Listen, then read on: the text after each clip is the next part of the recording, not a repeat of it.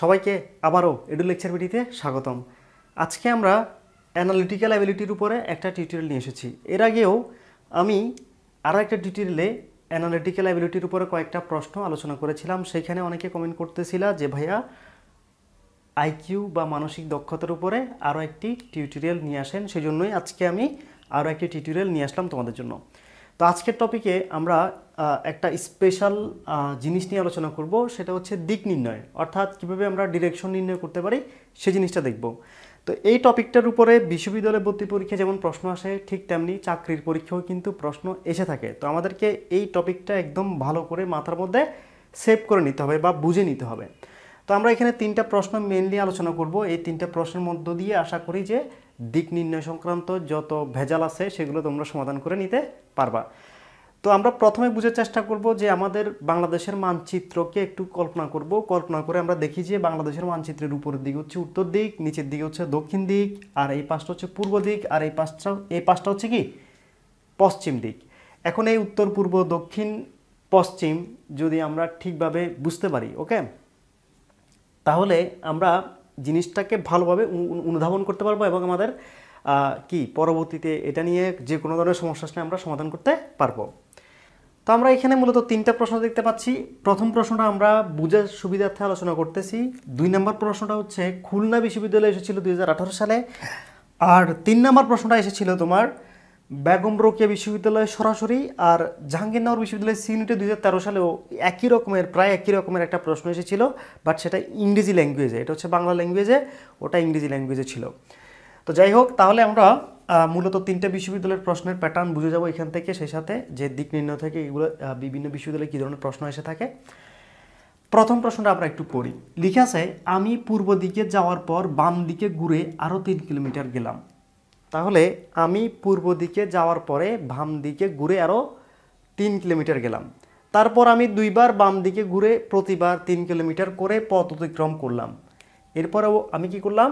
দুইবার বাম দিকে ঘুরে প্রতিবার তিন কিলোমিটার করে পথ অতিক্রম করলাম। মানে দুই একবার বাম দিকে ঘুরছি, তিন কিলোমিটার গেছি, দেন আবার বাম দিকে ঘুরছি, তাও তিন কিলোমিটার গেছি। আমার বর্তমান অবস্থান কোন বরাবর? মানে কোন দিকে? উত্তর দিক, পূর্ব দিক, দক্ষিণ দিক, পশ্চিম দিক। তাহলে কোশ্চেনের যে মর্মার্থ সেটা উদ্ধার করতে হলে আমি একটু লাইন বাই লাইন ধরে হাঁটা শুরু করি। এই ম্যাপের মধ্যে বা মানচিত্রের মধ্যে বা এই চিত্রের মধ্যে আমি হাঁটা শুরু করব। দেখো, আমি পূর্ব দিকে যাওয়ার পর, পূর্ব দিকে হচ্ছে এই দিক দিচ্ছি নিশ্চয়ই দিকে গেছে, ওকে? তাহলে পূর্ব দিকে যাওয়ার পরে বাম দিকে ঘুরে আরও তিন কিলোমিটার গেলাম। তাহলে খেয়াল করো, প্রথমে গেলাম পূর্ব দিকে তারপর বাম দিকে ঘুরে তিন কিলোমিটার গেছে। বাম দিক নিশ্চয়ই দিক ওকে এই দিক থেকে তুমি যদি এদিকে যাও, বাম কোন দিকে হয়? উপরের দিকে হয়? এদিকে হয়? তাহলে এদিকে বাম দিকে ঘুরে সে তিন কিলোমিটার গেল বা আমি তিন কিলোমিটার গেলাম। তারপর দুইবার বাম দিকে ঘুরে প্রতিবার তিন কিলোমিটার করে গেছে। দুইবার বাম দিকে মানে কি? প্রথমে একবার বাম দিকে। তাহলে এটা থেকে বাম দিকে, এদিকে। এদিকে ঘুরে তিন কিলোমিটার গেলাম। তারপর আবার বাম দিকে ঘুরে আরও তিন কিলোমিটার গেলাম। আমার বর্তমান অবস্থান কোন বরাবর? দেখো তো, আমি বর্তমানে দক্ষিণ বরাবরে আছি। তাহলে আমরা দেখাবো কি? দক্ষিণ। খেয়াল করা, একদম সহজ ছিল জাস্ট আমি এখানে একটু আঁকা ঝুঁকা করছি। তারপরে বেরিয়ে গেছে রাইট তাহলে প্রশ্ন কি ছিল? আমি পূর্ব দিকে যাওয়ার পরে বামে ঘুরে তিন কিলোমিটার গেলাম। তাহলে পূর্ব দিকে যাওয়ার পরে বামে ঘুরে তিন কিলোমিটার দ্যাট মিনস আমি হচ্ছে এইখানে এরপরে দুইবার আমি আবারও বাম দিকে ঘুরছি, প্রতিবার তিন কিলোমিটার করে গেছি। তাহলে এবার বাম দিকে ঘুরে তিন কিলোমিটার, আবার বাম দিকে ঘুরে তিন কিলোমিটার আমি গেলাম। দ্যাট মিনস আমি মূলত এই যে এটা, এটাও তিন এটাও তিন, এটাও যেহেতু তিন, এটাও যেহেতু তিন, তার মানে আমি এখন এখানে আছি আলটিমেটলি এই জায়গাটাতে আছি। তবে এদিকে, দক্ষিণ দিকে, ওকে? তাহলে দক্ষিণ দিকে আমি অবস্থান করতেছি, ওকে? এভাবে তোমরা খুব সহজে কিন্তু পারবা। এবার আমরা খুলনা বিশ্ববিদ্যালয়ে এসেছি এরকম একটি প্রশ্ন দেখি। বলছে যে, রেজা তার বাড়ি থেকে বের হয়ে প্রথমে উত্তর দিকে। তাহলে বাড়ি থেকে বের হয়ে প্রথমে কোন দিকে গেছে? উত্তর দিকে গেছে। তাহলে খেয়াল করো, এগুলো একটু মুছে দিই আমি। এগুলো একটু মুছে দিই। প্রথমে সেই উত্তর দিকে গেছে, ওকে? উত্তর দিকে। উত্তর দিকে পনেরো কিলোমিটার গেছে, এটা বলা আছে। তাহলে আমি একটু বড় করে দিই। সাপোজ সে এখানে চলে আসছে, ওকে? সাপোজ সে এখান থেকে রওনা দিয়েছে। এখান থেকে রওনা দিয়ে এখানে এসে পৌঁছালো পনেরো কিলোমিটার। তারপরে বলছে যে, এবার দক্ষিণ দিকে সে পাঁচ কিলোমিটার এগুলো। তাহলে প্রথমে উত্তর দিকে গেল পনেরো কিলোমিটার, তারপর দক্ষিণ দিকে গেছে পাঁচ কিলোমিটার। দ্যাট মিনস পেছনের দিকে আবার সে পাঁচ কিলোমিটার গেল। তার মানে সে আবার এখানে চলে আসলো। সাপোজ এখান থেকে হেঁটে এখানে চলে আসলো। এখানে চলে আসলো।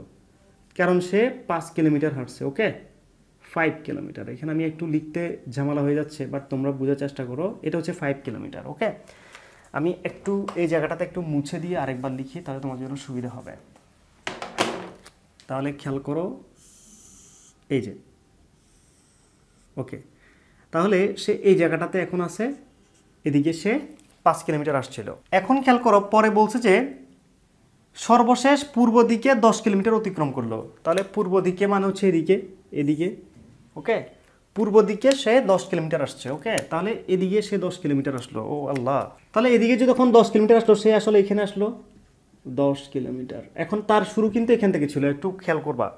তাহলে আবারও বোঝার চেষ্টা করো, সে শুরু এখান থেকে করে উত্তর দিকে গেল পনেরো কিলোমিটার, তারপরে দক্ষিণে পাঁচ কিলোমিটার আসলো, তারপর দশ কিলোমিটার পূর্ব দিকে গেল। তো সে এখন কোশ্চেনে জিজ্ঞেস করছে, এখন নিজের বাড়ির কোন দিকে সে দাঁড়িয়ে আছে? নিজের বাড়ি কিন্তু এখানে। এখানে কিন্তু তার নিজের বাড়ি। এখন তুমি বলো, সে নিজের বাড়ির কোন দিকে দাঁড়িয়ে আছে? এই যে, সে কিন্তু এখানে আছে। তোমার কাছে মনে হতে পারে সে নিজের বাড়ির পূর্ব দিকে আছে। না, সে নিজের বাড়ির আসলে উত্তর দিকে আছে। কেমনে উত্তর দিকে আছে তুমি খেয়াল করো তো। সে কিন্তু প্রথমে এদিকে পনেরো গেছে। তারপর পেছনে আসছে পাঁচ, তারপর কিন্তু আবার পূর্ব দিকে গেছে। তাহলে পূর্ব দিকে যাইলেও কিন্তু সে যেহেতু প্রথমে এখান থেকে এদিকে পনেরো কিলোমিটার সর্বাধিক দূরত্ব অতিক্রম করেছিল এবং পরে পাঁচ কিলোমিটার কমে গিয়ে সেটা আবার দশ কিলোমিটার হয়ে গেছে। দ্যাট মিন সে বাড়ি থেকে কিন্তু মূলত এই জায়গাটাতে দশ কিলোমিটার উত্তরে ছিল। তারপরে এদিকে যদি সে আরও দশ কিলোমিটার যায়, তাহলে কিন্তু সেটা সমান সমান হয়েছে দশ কিলোমিটারের। দ্যাট মিনস সে আসলে কিন্তু কি এই যে এদিকে দশ কিলোমিটার যাক বা এদিকে দশ কিলোমিটার যাক আলটিমেটলি সে তুমি কি বলব? তোমার বাড়ি থেকে সে কোথায় আছে? উত্তরে আছে। এই যে সে এখানে থাকলে উত্তর, এখানে থাকলে উত্তর, এখানে থাকলে উত্তর, এখানে থাকলে উত্তর, এখানে থাকলে উত্তর, এখানে থাকলে উত্তর। এই যে বাড়ির বাড়ির উঠোন থেকে কেউ যদি তাকায় বা বাড়ির যে ছাদ ছাদ থেকে কেউ যদি তাকায়, কোন দিকে দেখবে? উত্তরে দেখবে না? ঠিক আছে? তাহলে এই যে সেই দিকে তাকাবে আর কি। এদিকে তাকালে উত্তরে দেখতেছে। ওকে তারপরে আমরা তাকাবো কি? উত্তর দিকে। এখানে উত্তর দিকে হবে। পশ্চিম দিক কেন হচ্ছে না? কারণ শুরুতে সে উত্তরে গিয়েছিল এই জন্য যদি সে বাড়ির এই দিক থেকে, এই দিক থেকে সরাসরি সরাসরি পূর্ব দিকে যদি সরাসরি যেত, তাহলে পূর্ব দিক হতো ওকে? তাহলে আমরা পূর্ব দিক দেখাতাম এটাও কিন্তু কিছুটা পূর্ব দিকে মানে উত্তর পূর্ব দিকে আর কি। কিন্তু আমরা অপশনে যদি উত্তর পূর্ব না থাকে, তাহলে আমরা দেখাবো উত্তর। আশা করি ক্লিয়ার তোমার রিটেনে আসলে তুমি চাইলে উত্তর পূর্ব লিখতে পারো। রিটেনে উত্তর পূর্ব লিখতে পারো।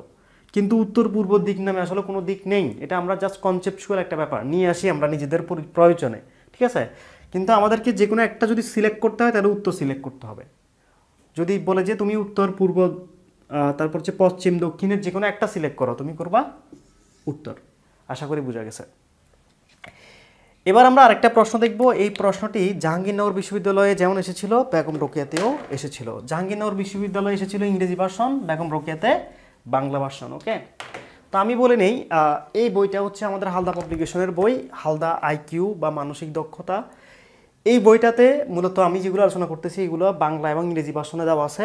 যেমন এই প্রশ্নটার পরবর্তীতে ইংরেজি ভাষণ দেওয়া আছে। হ্যাঁ এই যে এখানে হচ্ছে ইংরেজি ভাষণ দেওয়া আছে। এবং এই বইটাতে সবগুলো আমি যেভাবে তোমাদেরকে বুঝে দিচ্ছি, মূলত আমি এই বইটা দেখে দেখে বুঝে দিচ্ছি, ঠিক আছে? এটা রাইটার হচ্ছে আমার ফ্রেন্ড সৌমিত্র। সৌমিত্র গুহই এটা রাইটার ও যেভাবে লিখছে, আমি জাস্ট সেইভাবে তোমাদেরকে রিপ্রেজেন্ট করতেছি ওকে সেইভাবে তোমাদেরকে রিপ্রেজেন্ট করতেছি। সো ক্রেডিট কিন্তু তার। সো তোমরা এই বইটা বাজার থেকে একটু কালেক্ট করবা, এটা বাংলাদেশের সব লাইব্রেরিতে মানে জেলা পর্যায়ে যে লাইব্রেরিগুলো বড় বড় লাইব্রেরি সেগুলোতে পাওয়া যায়। মানে তোমার জেলা দেখবে যে একটা বড় লাইব্রেরি থাকে, সেই লাইব্রেরিতে তুমি অবশ্যই এটা পাবা। আর ঢাকা, চট্টগ্রামের যে কোনো জায়গাতে, অর্থাৎ শহরের যে কোনো লাইব্রেরিতে তুমি এই বইটা পাবা। তবে সেখানে অ্যাডমিশন টেস্টের বই বিক্রি করে এরকম দোকানগুলো ওকে সো আশা করি তোমরা এই বইটা কালেক্ট করব অথবা পাশে দেখানো যে নাম্বারটা, সেই নাম্বারে তুমি কল করতে পারো, আমরা কুরিয়ারে তোমাকে পাঠিয়ে দিব। অর্থাৎ পাশের নাম্বারে যোগাযোগ করলে তোমাকে কুরিয়ারে সেটা এই বইটা পাঠিয়ে দেওয়া হবে। এবার আমরা দেখব হচ্ছে শেষ প্রশ্ন যেটা, আমরা সেটা কীভাবে সমাধান করব। সেটার জন্য আবারও আমি দিকটাকে ড্র করলাম। তাহলে তুমি বলো, এটা কি ছিল পূর্ব, এটা ছিল পশ্চিম, এটা ছিল দক্ষিণ, আর এটা ছিল উত্তর। এখন এখানে বলছে যে ক, খ এর পশ্চিমে, ক, খ এর পশ্চিমে, একটু খেয়াল করবা, ক, খ এর পশ্চিমে। তাহলে এটা হচ্ছে পশ্চিম আর এটা হচ্ছে পূর্ব। ক, খ এর পশ্চিমে। তাহলে ক যদি এর পশ্চিমে হয়, তাহলে খ কোন দিকে? পূর্বে। ওকে তাহলে এটা হচ্ছে খ, এখানে হচ্ছে খ আর এখানে হচ্ছে ক। এই যে প্রশ্ন বলছে, ক খয়ের পশ্চিমে। এটাই হচ্ছে পশ্চিম। ওকে এখন খেয়াল করো, তারপরে বলছে যে খ গয়ের উত্তরে অবস্থিত। খ গয়ের উত্তরে, তাহলে গ নিশ্চয়ই দিকে গ যদি এখানে হয়, তাহলে খ উত্তরে যায়। এই যে এটা কিন্তু দক্ষিণ, নিচের দিকে দক্ষিণ, উপরের দিক কি? উত্তর। তাহলে এখানে যদি গ হয়, তাহলে গয়ের উত্তরে কিন্তু খ, তুমি খেয়াল করো। এই যে গয়ের উত্তরে খ। লিখে আছে এখানে দেখো। লিখে আছে কি? খ গয়ের উত্তরে অবস্থিত। খ গয়ের উত্তরে অবস্থিত। তাহলে তুমি দেখো তো, খ গয়ের উত্তর আছে কিনা? আছে। তারপর বলছে, ঘ কয়ের দক্ষিণে অবস্থিত। ঘ কয়ের দক্ষিণে, দক্ষিণ তো নিচের দিকে। তাহলে নিচের দিকে ঘ অবস্থিত। এই যে ঘ কয়ের দক্ষিণে অবস্থিত বলছে। তারপর বলছে যে ঘ কয়ের দক্ষিণে অবস্থিত হলে গ, ঘ, এর অবস্থান কোন দিকে? গ থেকে মানে এটাকে তুমি সি ধরতে পারো। সি থেকে ডি এর অবস্থান কোন দিকে? ঠিক আছে? তাহলে এটা হচ্ছে ডি, এটা হচ্ছে সি। ঠিক আছে? তাহলে সি থেকে ডি এর অবস্থান কোন দিকে? তাহলে দেখো তো, সি থেকে ডি এর অবস্থান পশ্চিমে। অর্থাৎ গ থেকে ঘ এর অবস্থান জিজ্ঞেস করছে। গ থেকে ঘ এর অবস্থান কোন দিকে জিজ্ঞেস করছে? কোন দিকে তুমি বলো তো? পশ্চিমে ওকে তাহলে এখানে আমরা দেখাবো কি? পশ্চিম। অ্যাকচুয়ালি আমি যখন ক্লাস নিচ্ছি, তখন আমার এখানে ইলেকট্রিসিটি চলে গেছে এই জন্যই একটু অন্ধকার দেখতেছো বাট আমি আশা করি তোমরা দেখতেছো। তাহলে এভাবে আমরা জিনিসগুলোকে দাগিয়ে ফেলব।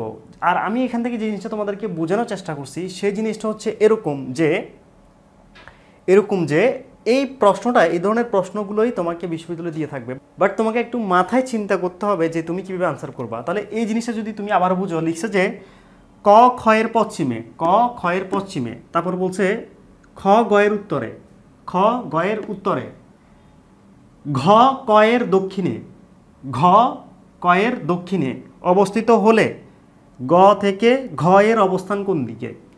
গ থেকে ঘ এর অবস্থান পশ্চিমে। ওকে এই যে এই দিকটা পশ্চিম তুমি খেয়াল করো। এভাবে যদি তুমি চিন্তা করতে পারো, তাহলে তোমাকে কেউ আটকাতে পারবে না। যেভাবে প্রশ্ন দেয় তুমি ঘুরে ফিরে কিন্তু আনসার করতে পারবা। আমাদের এই বইটাতে এই বইটাতে এই দিক নির্ণয় সংক্রান্ত অনেকগুলো প্রশ্ন সমাধান দেওয়া আছে। যেহেতু এটা চাকরির পরীক্ষায়ও আসে অ্যাডমিশন টেস্টেও আসে সেই জন্য অনেকগুলো। এই যে এখান থেকে শুরু হয়ে এক পেজ দুই পেজ তিন পেজ যদি আমি পেজের নাম্বার বলি, এক, দুই, তিন, চার, পাঁচ, ছয়। ছয় পেজ শুধুমাত্র ছয় পেজের প্রশ্ন সবগুলোই দিক নির্ণয় থেকে দেওয়া। ঠিক আছে? তাহলে দিক নির্ণয়ের অনেকগুলো প্রশ্ন এখানে তোমার আলোচনা করা আছে। দেখো তুমি, সবগুলো এগুলো দিক নির্ণয় সবগুলা। এই দিক নির্ণয়ের- প্রশ্নগুলো যখন তুমি সমাধান করবে এখান থেকে, তাহলে তোমার এই দিক নির্ণয় থেকে যেটাই আসুক তুমি আনসার করতে পারবা। পরের টিউটোরিয়ালে আমরা অন্য একটা টপিক নিয়ে আবারও আইকিউ থেকে আলোচনা করব। সে সবাই বলা থাকি। আজকে চলে যাচ্ছি। আল্লাহ হাফেজ। টাটা।